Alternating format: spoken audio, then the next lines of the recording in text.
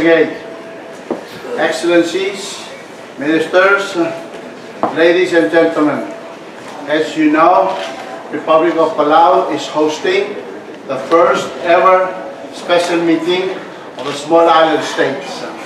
Yesterday and today, they were meeting at the capital, and this evening, we are having a reception hosted by His Excellency President Masao and the Vice Minister of Republic of China, Taiwan.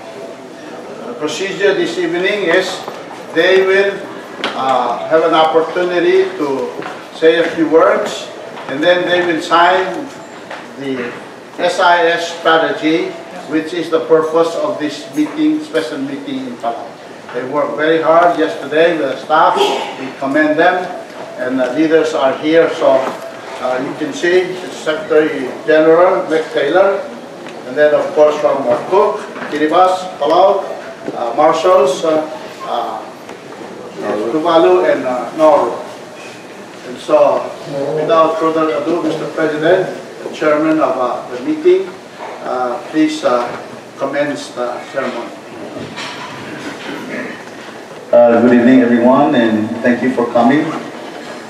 Uh, Tonight, uh, in the presence of our national elected leaders and our state leaders, uh, the Chief Justice, and one of our important uh, uh, development partner, the Republic of China, uh, in the presence, of course, of our traditional uh, leaders, I'm very happy to announce to, to all that uh, we have certainly earned our pay yesterday and today.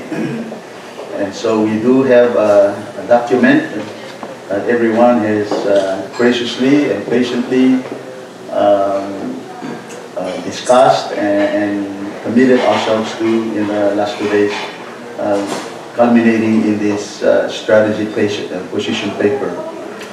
I want to, of course, extend our gratitude to the members of the SIS, Small Island States, and of course to Secretary General uh, Meg Taylor and her staff for uh, assisting all of us in getting this very important uh, document ready.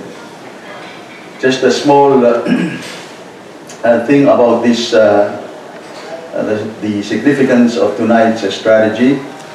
Um, we know that throughout the Pacific, we share common challenges and obstacles. And so we have the Pacific Island Forum, which is the umbrella association for everyone here in the Pacific.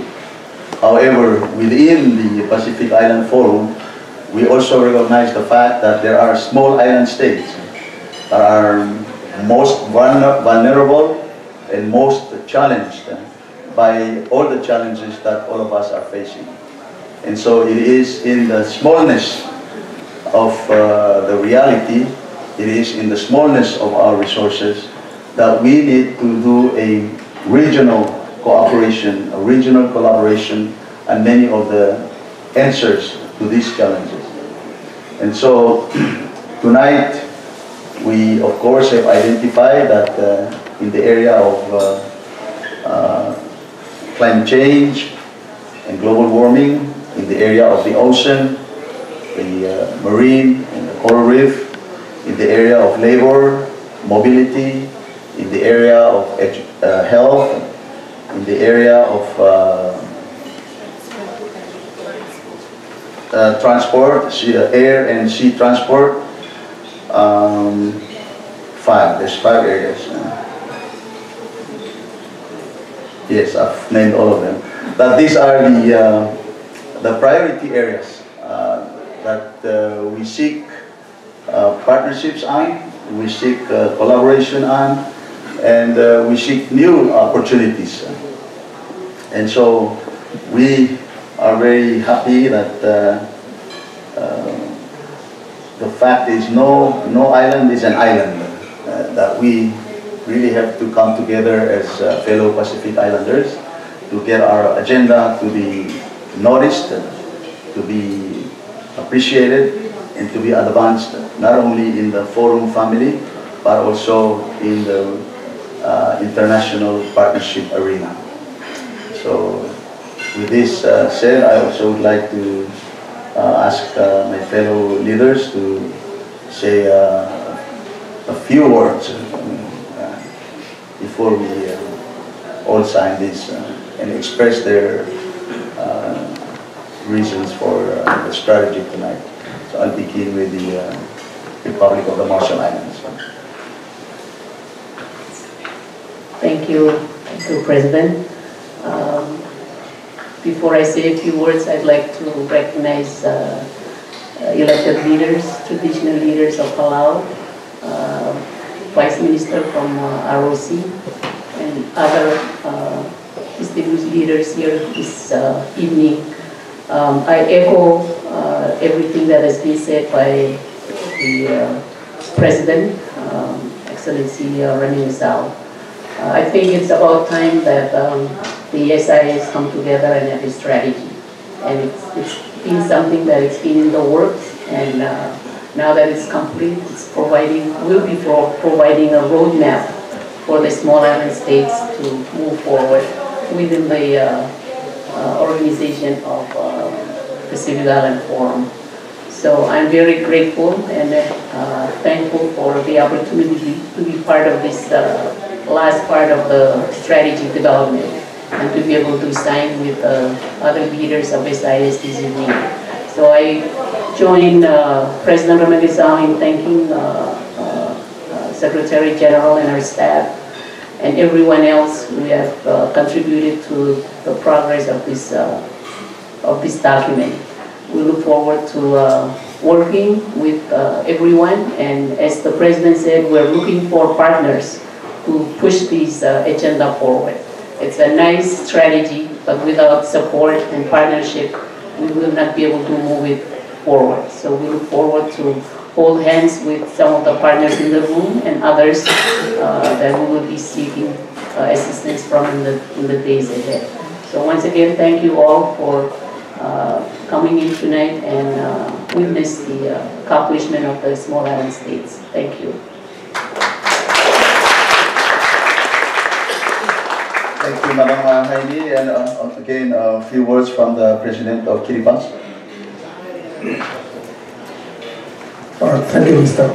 President. And, well, good evening, everybody. Uh, I understand there are also distinguished uh, guests from the local dignitaries and uh, folks who are here, including the, uh, the Secretary General from the Foreign Secretary and uh, my colleagues here. I'll try and say a few words on behalf of the people of Kiribati and, and the government of Kiribati. Uh, I'm pleased to say how, I, how happy am I to, to be part of this historical and um, great achievement. Uh, certainly the dreams of those who have initiated this, uh, this strategy, SIA strategy uh, has now come to a realization and a fulfillment. And uh, that, that was a great step forward, especially for the small island state to come up with this, this strategy that will guide and pave the way forward, especially in those key result areas that the President has mentioned. So without uh, going further, I, I also acknowledge the, the effort and the input by the SG Secretary General of the Forum Secretariat with their, their hardworking uh, staff together with our officials from our respective uh, SIS countries. So those few words, uh, this is my first time to visit your beautiful country. So I'm very happy to, to be here as well. And well, as I understand, uh, election is on the way. So I would like to, to, to wish all the best to the, uh, your president, President Remengesau, and for all those who, who are aspiring towards these uh, leadership roles. Thank you very much. Kamdaba, Demetri, Terai, Abitabemo, which means good health, peace, and prosperity. Thank you. Uh, President of Kiribati, and of course, uh, uh, as uh, he just he's won his election, so he's in the back, and he can afford to wish everyone good luck now. Uh, if we can hear from our brother from uh, Tuvalu. Thank you very much, Your Excellency, um, President uh, Wendy. Yes, on, on behalf of our uh, delegation from Tuvalu, we are quite happy to be part of the uh, SIS and especially the strategy that we have worked on, which we are going to sign today. The government of Tuvalu uh, endorses the strategy, and we hope that we have uh, development partners to work with, and hopefully, for the sake of all of us, the small island states, we will be able to do bigger things for us in the future. And Thank you for the opportunity. And uh, if we may hear uh, from our colleague from uh, Nauru. Thank you, President. Uh, Also, Nauru is very happy to be part of uh, the SI's strategic plan, and uh, we know it will uh, bring great benefits to our people. And uh, we've been working on this strategic plan for a while now through consultations with our people to ensure that we identify those priorities that are most important to our people. Um, I just want to thank uh, President Remengesau and, and the people of Palau for the, for the uh, arrangements and for, for the kind uh, uh, uh, looking after for our delegation from Nauru. Thank you very much.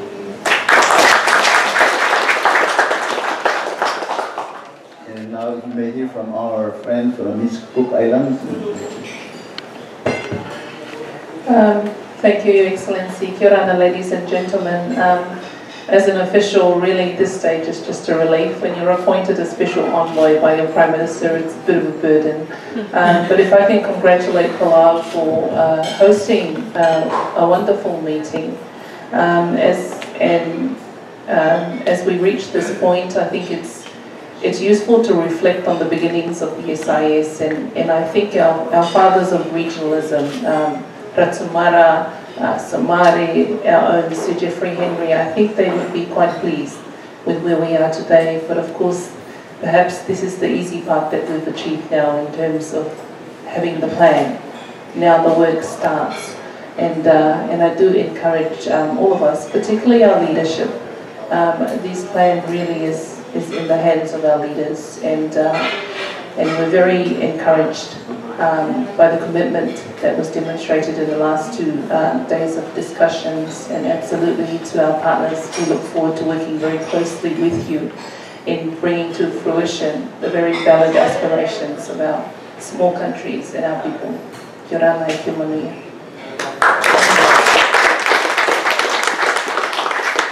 Thank you, Madam Herrmann, uh, And of course, uh, ladies and gentlemen, this strategy or this agenda would not be promoted, communicated, or expressed to the region and to the international community without the, um, uh, the strong support and assistance of the Secretary General.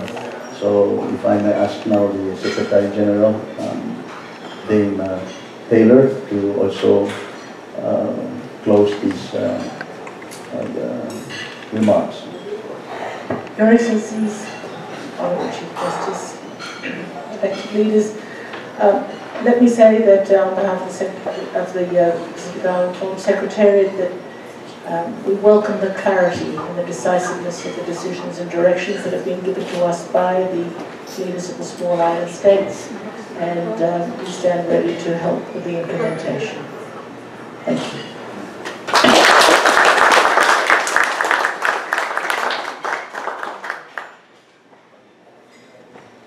Excellencies, we will sign the uh, commencing of the document now, and later on, we just allow few questions from the media. They've been waiting for this time for, so please commence the signing.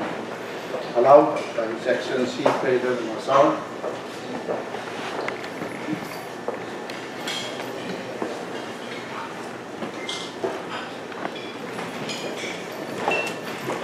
Marshals, Excellency President Hilda Aini,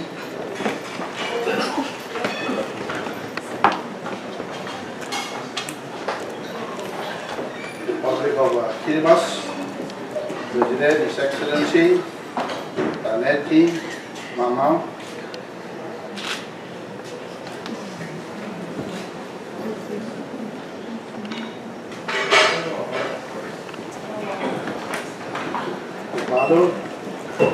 Minister Foreign Affairs and Trade, Tourism and Environment and Labor, Finikaso of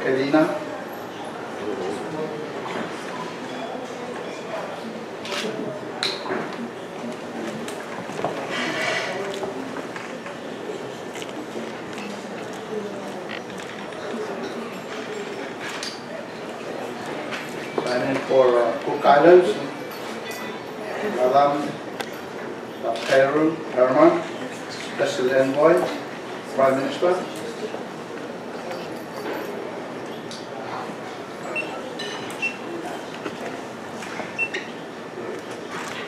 Nauru, Director, Department of Foreign Affairs and Trade, Mr. Mike Aaron.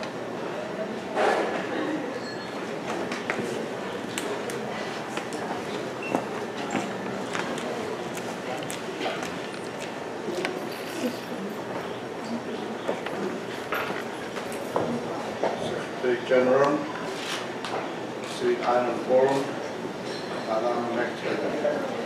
I'm confused.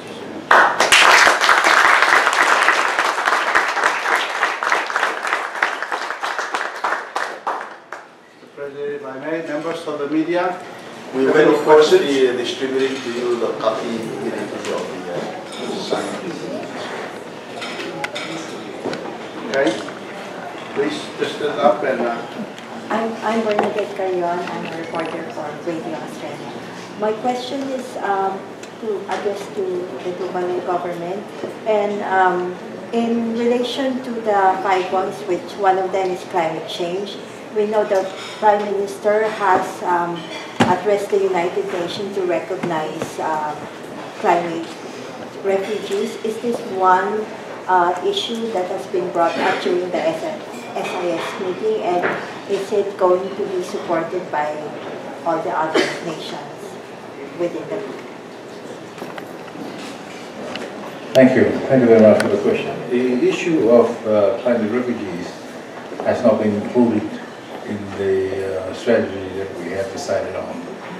We are taking on the issue of climate change as a whole in itself, but not in relation to um, refugees, climate refugees. Thank you.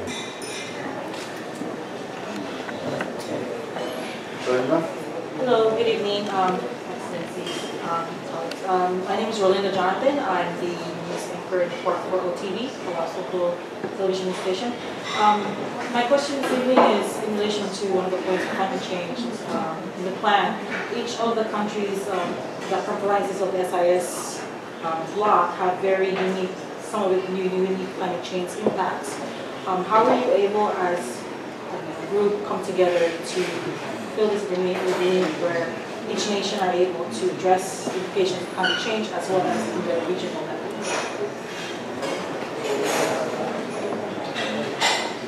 So I think uh, uh, so far the questions are best addressed by the communique because we do have a, a plan of action in each of the issues that uh, we signed on.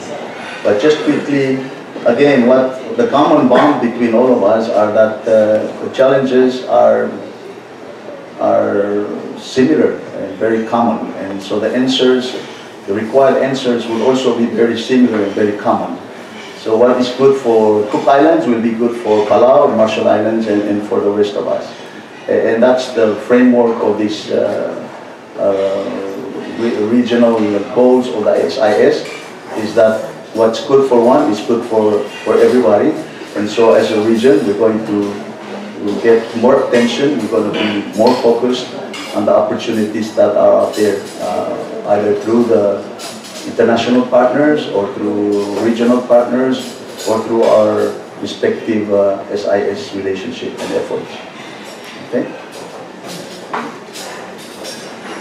one more and then we Yes, um, uh, my name is Leilani and I'm with Island Times of Palau.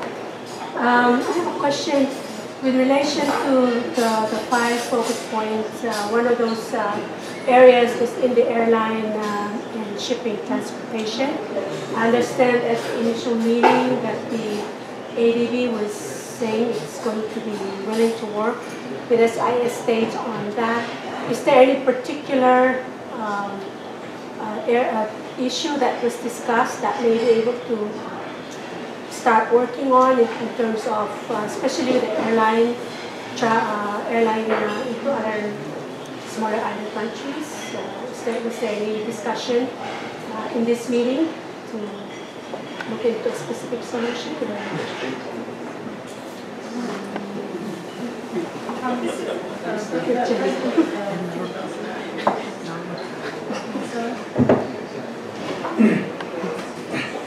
Thank you for the, the question, which is very relevant. uh, well, in, uh, in the case of the airline, airline services issue, and the yeah, Kiribati, uh, unlike other smaller countries because of their isolation, uh, so would require a more efficient uh, system of uh, or system of uh, making sure that the, the airlines, uh, especially those that have, uh, haven't got their line, uh, aircraft of their own, uh, their needs and the problems are taken care by the by this our partners and particularly the, the regional level. And as, as I understand, the secretary has taken note of. it. In addition, the uh, also on the land uh, issue, we have a, as, as airspace management issue. And uh, as you might be aware, the Kiribati airspace has been managed by three countries, which is quite unusual. And, and uh, but Kiribati has been getting very little out of the, of the management of the, its own uh, uh, airspace.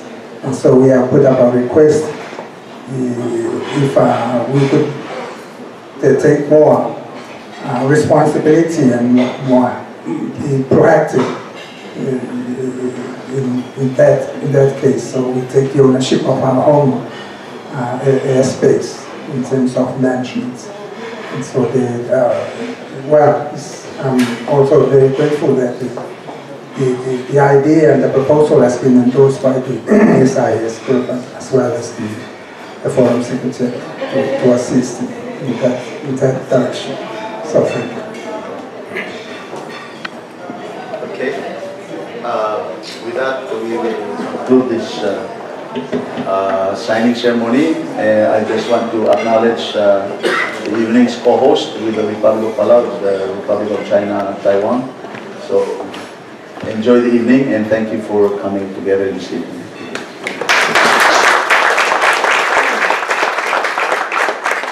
Uh, Once again, uh, good evening, excellencies, ministers, ladies and gentlemen. This, as mentioned by His Excellency President, this evening's reception is co-hosted by the President of the Republic of Palau and uh, His Excellency Vice Minister of Foreign Affairs, Republic of China. So at this time, I will invite the Vice Minister to come and share a few words before dinner is served.